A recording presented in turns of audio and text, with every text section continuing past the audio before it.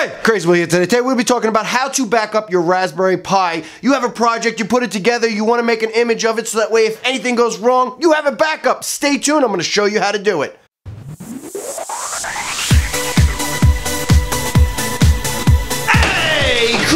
Crazy Will here from Crazy Will's Tech Show. Today, I'm gonna show you how to back up your SD card on a Raspberry Pi. This is the scenario for me, guys. I've been watching Chris's Basement. It's a YouTube channel on how to set up multiple instances of Octoprint on one Raspberry Pi with two cameras so I can control both my printers remotely.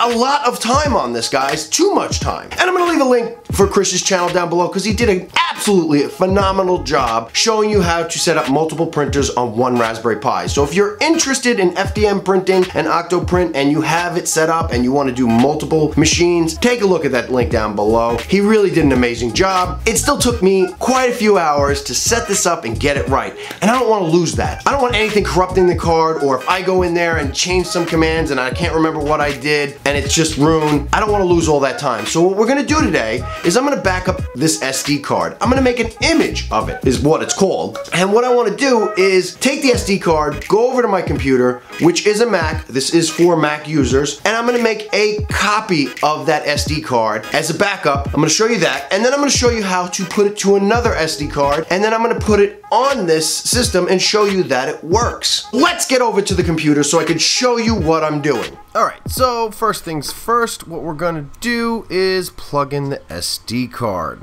And it should show up as boot. And there it is. That's the SD card. And I want to back it up. What we're going to do is go over here to Launchpad. And we're going to open up Other. And we're going to go to Disk Utility. Now, if yours isn't set up like mine, you could also type in Disk Utilities in your Finder right here. What we're going to be looking for in this one is the boot, the external boot. So we're going to grab this right here and it is disk 3. So if you click on the generic storage, it's disk 3. We're going to keep that in mind. That's what we went in here to look for. And we're going to go up here and we're going to type in terminal. I'm going to open up a terminal window. Now I'm going to leave a copy of this code down below, but we're going to copy this and you're going to paste it right here. And I'll just kind of describe what's going on. It says sudo, it's going to be duplicated if disk drive, and we're going to change that to 3, disk 3, because that's what it needs to be. So we're going to hit 3. You want to make sure you get this right. I'm not responsible for your machine. You're doing this at your own risk blah blah blah blah as you guys know. And I am trying to direct it to the desktop and it's going to be called Pi SD card backup DMG we're going to hit enter.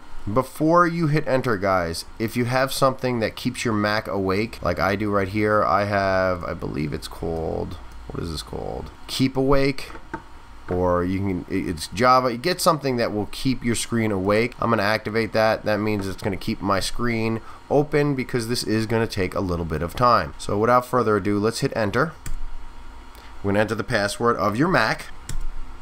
And I put mine in and you could see it's making a backup right here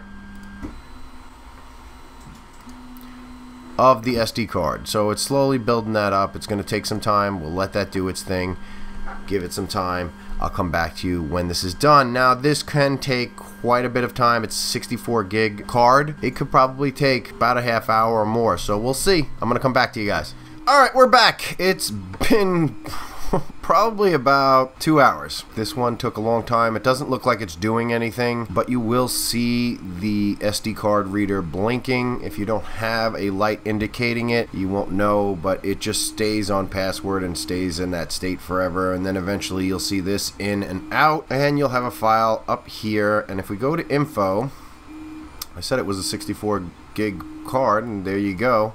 That's the size of it. I'm going to change the name of this to octo-pi cam because I added cameras to this one. So there's my file. Now, what we're to do is I'm to write one because I want to have a backup. Now, you could store this on your computer and then write it from here, but I wanted to show you how you could also write to this. And uh, plus, I want to check it and make sure I did it correctly. So we're to eject the, the bootable one. Let that get ejected. All right, we'll take that one out. And now we'll put in the new one, which is just an SD card, a 64 gig. There's actually several ways I do this. I can actually write the code in terminal and it'll do it that way, but I've been using Etcher and I really like it because I get a progress bar. And I'll leave a link down below, but this is Etcher right here. We'll open that up and we'll select an image which is on the desktop, which is going to be Octopi with cameras.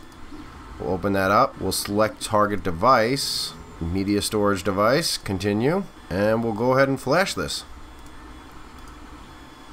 It asks for a password, I don't know why, but it does that with a Mac. And we'll begin flashing. This process will go a lot faster. It looks like it's going to take roughly 15 minutes, so we'll come back then. Alright, so it's done. It automatically ejects it. I'm going to X out of that. And I'm going to take the SD card out and I'm going to plug it back in, make sure everything looks good. So you take it out and put it back in. It just automatically ejects it. I don't know why it does that, but looks like all my information is on there. So we're going to eject that and I'm gonna try and set it up on my Pi and see if it runs. Alright, so I just put the SD card into the Raspberry Pi that I just formatted, that I made an image of, and I transferred the image onto a brand new card. Let's see if this worked. Alright, just to show you guys it worked, automatically it brought me back to my original Octopi.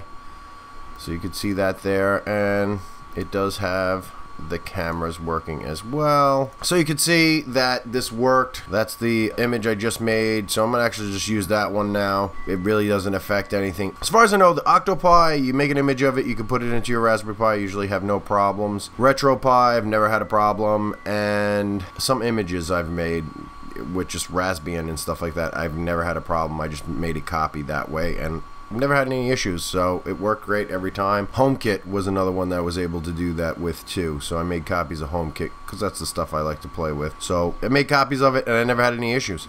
Okay, so it definitely works. This is the new SD card. I'm controlling it with my phone. As you can see, we'll go over to the Disway because I have multiple instances. Now that one's working. My Pi project has been backed up, which is awesome. So now I have two cards of this and I have an image on my computer that I can keep on an external drive. And if I ever need to get back to it, I can get back to it. Now this is good practice if you're in the middle of a project and you don't want to lose what you got. You can back this up and then go back to trying to fiddle with it it and get it to work. And this is kind of a practice that I've started because sometimes you get to that point of no return where all those hours are gone and you gotta start over from scratch, which isn't necessarily a bad thing because that's how we learn, but it can be very frustrating. And just in case you're interested, if you ever get a chance to get an FDM printer called Disway for $130 so far, it's basically an Ender 3 really good deal, really good deal. I might do a video on that, I'm not sure, because currently they're unavailable.